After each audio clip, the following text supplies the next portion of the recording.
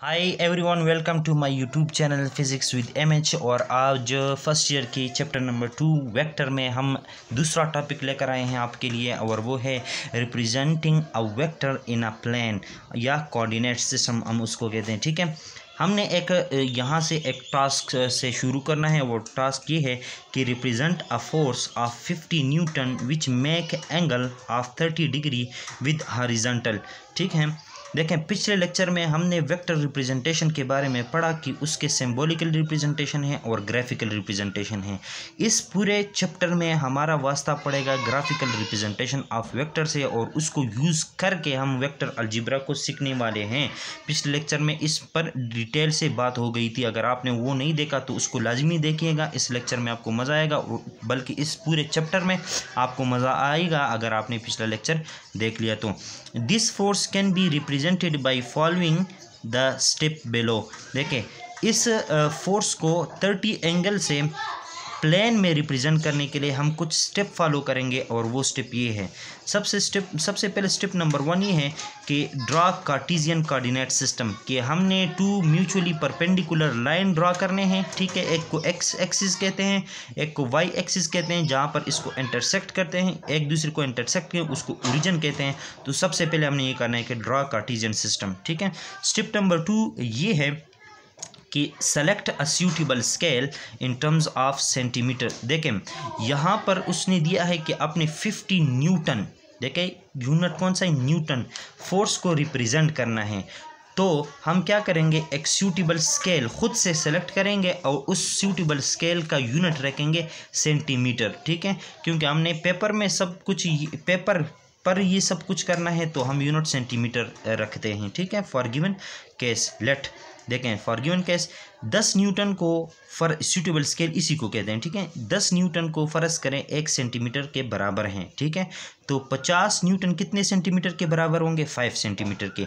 अब पचास न्यूटन को पेपर पर रिप्रेजेंट करना टोटल ये जो हमारे पास होता है, टोटल पेपर अक्सर पचास सेंटीमीटर नहीं होता। तो इसलिए हमने सूटेबल स्केल ले लिया। एक सेंटीमीटर को कहा दस न्यूटन, और जब फिफ्टी न्यूटन होगा तो हम फाइव सेंटीमीटर का लाइन ड्रा करेंगे। फिफ्टी सेंटीमीटर को क्या करेगा? फिफ्टी न्यूटन को रिप्रेजेंट करेगा। ना draw a line of five centimeter in coordinate system अब देखिए, हमने एक लाइन ड्रा करना है जो इसकी लेंथ फाइव सेंटीमीटर हो इस कोऑर्डिनेट सिस्टम में, इस कोऑर्डिनेट सिस्टम में। लेकिन कैसे करना है? गिवन डेटा में ये है कि हॉरिजॉन्टल के साथ थर्टी का एंगल बनाएँ। तो आप ये वाला कार्डिनेट सिस्टम आ गया, ठीक है? अब थर्टी डी रख दिया इस कार्टीजियन कार्डिनेट सिस्टम के ऊपर, जिस तरह के मैंने ये ड्रा किया है डी के साथ, मैं आपको बताता हूँ ये मेरा डी किधर चला गया, ये है, ठीक है? ये आ गया, ए, ये आपके पास आ गया, ठीक है?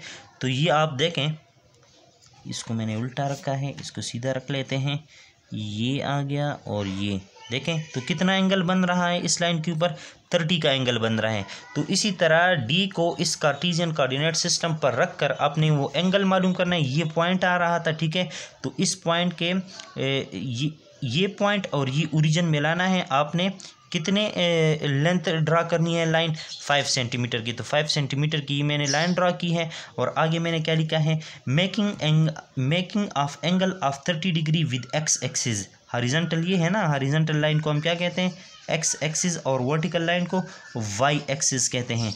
ठीक है तो वेक्टर को प्लेन में ड्रा करने का ये दो तीन स्टेप है, इसको फॉलो फॉलो करेंगे। Put arrow on the line which gives the direction of vector. देखें, वेक्टर में हमें दो चीज़ें चाहिए होती है, एक डायरेक्शन और एक उसका मैग्नीट्यूड। तो ये जो हमने 50 न्यूटन फोर्स ड्रा की है ठीक है? इसका ये जो एरो है, ये डायरेक्शन बताएगा और ये इस एरो का जो लेंथ है, ये वो इस वेक्टर का क्या बताएगा? मैग्नीट्यूड तो हमें वेक्टर मिल जाएगा। अब देखें note the angle are always taking in anticlockwise direction which is taking from positive axis angle हमेशा हम इस एक्स एक्सिस से लेंगे, लेकिन क्लॉकवाइज या एंटी क्लॉकवाइज तो इधर लिखा हुआ है कि एंटी क्लॉकवाइज लेंगे। और इसी तरह जो एंटी क्लॉकवाइज लिया गया है एंटी क्लॉकवाइज जो एंगल होता है, वो पॉजिटिव होता है, और क्लॉकवाइज जो होता है, उसको नेगेटिव लिया जाता है। ये कन्वेंशन है, ये रिवाज है साइंस का, ठीक है? इस तरह लिया जाता है। और इसके पीछे भी लॉजिक है, लेकिन उस लॉजिक को आप डिस्कस नहीं करते हैं। हमारा जो टॉपिक है, उसके साथ कंसर्न रहते हैं। देखें तो वेक्टर को प्लेन में, यानी कि कोऑर्डिनेट सिस्टम में या टू में रिप्रेजेंट करने के लिए हमें सिर्फ़ एक एंगल का भी पता हो, तब भी काम हो सकता है। और वो एंगल था एक्स एक्सिस से ये वेक्टर कितना एंगल बनाता है, ठीक है? अब बात ये है कि रिप्रेजेंट करते हैं एक वेक्टर को स्पेस में, यानी कि थ्री में, जहाँ पर एक्स एक्सिस भी हो एक्स एक्सिस भी हो वाई एक्सिस भी हो, और जेड एक्सिस भी हो। तब हमें कितने एंगल चाहिए होते हैं? तो जवाब ये है कि एक वेक्टर को स्पेस में रिप्रेजेंट करने के लिए हमें तीन वेक्टर चाहिए होते हैं। एक को हम कहते हैं अल्फ़ा तीन वेक्टर नहीं सॉरी तीन एंगल चाहिए होते हैं। एक को हम कहते हैं अल्फ़ा अल्फ़ा वो एंगल होता है जो ये वेक्टर बनाता है एक्स एक्सिस के साथ। एक होता है बीटा बीटा वो एंगल होता है जो ये वेक्टर बनाता है वाई एक्सिस के साथ। और गेमा वो एंगल होता है जो ये वेक्टर बनाता है जेड एक्सिस के साथ। तो एक वेक्टर को स्पेस में रिप्रेजेंट करने के लिए कितने एंगल का सहारा लेना होगा? हमें लेना होगा सहारा तीन एंगल का। एक को हम कहते हैं अल्फ़ा, दूसरे को कहते हैं बीटा और तीसरे को गेमा। अल्फ़ा एक्स एक्सिस के साथ, बीटा वाई एक्सिस के साथ और गेमा जेड एक्सिस के साथ। ठीक है? Different different vector in different coordinates of a coordinate system देखें, हमारा वास्ता जो पड़ेगा आने वाले लेक्चर्स में, वो कुछ ऐसे वेक्टर्स से पड़ेगा क्योंकि कुछ वेक्टर्स पहले क्वाड्रेंट में होंगे कुछ सेकंड क्वाड्रेंट में होंगे और कुछ थर्ड क्वाड्रेंट में और कुछ फोर्थ क्वाड्रेंट में। तो अब हमने हमेशा एंगल देखना है पॉजिटिव एक्स एक्सिस के साथ। तो उसके लिए क्या तरतीब है क्या रोल है आ, क्या रूल्स है उसको देखते हैं ठीक है? देखें अगर आपके पास वेक्टर फ़र्स्ट क्वाड्रेंट में आता है किस चीज़ में आता है? फ़र्स्ट क्वाड्रेंट में आता है। तो आपने सिंपल एंटी क्लॉकवाइज डायरेक्शन में आपने देखना है कि वो एक्स एक्सिस के साथ कितना एंगल बनाता है, ठीक है? तो अगर आप यहाँ पर डी रख देते हैं तो आपको ये एंगल मिलेगा चालीस डिग्री का। तो आप आसानी से किसी को बता सकते हैं कि angle forty degree first quadrant में ये वेक्टर बनाता है। अब अगर वेक्टर सेकंड क्वाड्रेंट में लाई करता है, कहाँ पर लाई करता है? सेकंड क्वाड्रेंट में। तो फिर एंगल को कैसे रिप्रेजेंट करेंगे? और हमेशा एंगल आपने नापना है फ़र्स्ट क्वाड्रेंट के पॉजिटिव एक्स एक्सिस के साथ, ठीक है? तो अब देखें, वेक्टर यहाँ पर लाई करता है, ठीक है? तो इसका एंगल ये बन रहा है। तो ये टोटल एंगल कितना है? तो यहाँ से यहाँ तक तो नाइन्टी है। और यहाँ से यहाँ आगे क्या है? थीटा है। तो हम क्या करेंगे? क्वाड्रेंट टू में जो एंगल बना हुआ है, उसको अगर हम थीटा टू कहते हैं, ठीक है? और ये है थीटा जो कि नाइन्टी डिग्री है। और यहाँ से यहाँ तक जो एंगल बनता है, वो थीटा डैश है। तो थीटा टू यानी कि ये टोटल एंगल कितना होगा? यानी कि ये नाइन्टी प्लस थीटा डैश। और थीटा डैश को अगर आप डी से मालूम करें, वो थर्टी डिग्री आएगा तो ये वेक्टर पॉजिटिव एक्स एक्सिस के साथ नाइन्टी प्लस थर्टी का एंगल बनाता है और वो है एक सौ बीस डिग्री। कितना? एक सौ बीस डिग्री। तो मतलब ये है कि हमने पॉजिटिव एक्स एक्सिस के साथ इसका एंगल देखना है, ठीक है? अब आते हैं तीसरे क्वार्टेंट में। तीसरी क्वाड्रेंट में किस तरह एंगल बनता है? अब देखें first quadrant second quadrant third quadrant में ये वेक्टर आया है। अब ये वेक्टर पॉजिटिव एक्स एक्सिस के साथ कितना एंगल बन रहा है? वो ये है, ठीक है? अब यहाँ से यहाँ से पॉजिटिव एक्सिस के साथ वाई तक नाइन्टी और फिर वाई से नेगेटिव एक्सिस के साथ फिर नाइन्टी तो नाइन्टी और नाइन्टी कितना हो गया? वन एटी हो गया, ठीक है? अब यहाँ से यहाँ तक कितना एंगल बन रहा है? ये अगर आप डी डी से मैयर करें, मैंने किया हुआ है तो वो आता है फोर्टी तो इस पूरे पॉजिटिव एक्सिस के साथ इस वेक्टर का कितना एंगल बना? Ninety plus ninety plus forty तो नाइन्टी और ninety one eighty plus forty तो दो सौ बीस डिग्री तो हम ये वाला एंगल क्या करेंगे? कंसिडर करेंगे. नेक्स्ट लेक्चर में ये बातें बहुत कम आने वाली हैं, ठीक है? अब देखें फोर्थ क्वाड्रेंट में अगर वेक्टर आ रहा है तो किस तरह मालूम करेंगे? ये है फोर्थ क्वाड्रेंट में वेक्टर। यहाँ से यहाँ तक का एंगल 90 फिर यहाँ से यहाँ तक 90 फिर यहाँ से यहाँ तक 90 तो यहाँ से कितना आया? 270 और यहाँ से यहाँ तक कितना बन रहा? है 35 तो 270 प्लस पैंतीस। तो आपके पास ये वेक्टर पॉजिटिव एक्सिस के साथ 305 डिग्री का एंगल बना रहा है। ठीक है? You will measure angle always with positive axis.